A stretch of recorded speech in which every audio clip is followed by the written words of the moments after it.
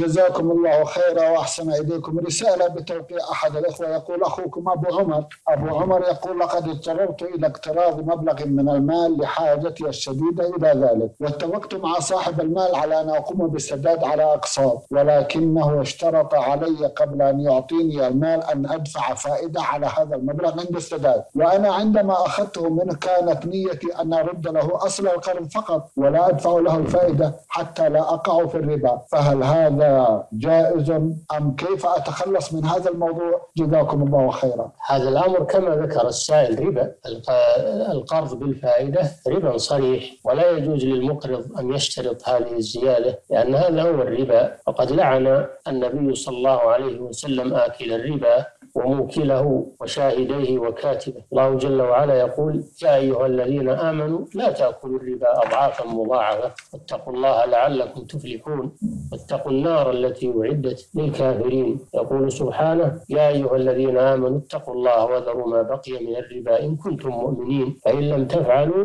فآذنوا بحرب من الله ورسوله وإن تبتم فلكم رؤوس أموالكم.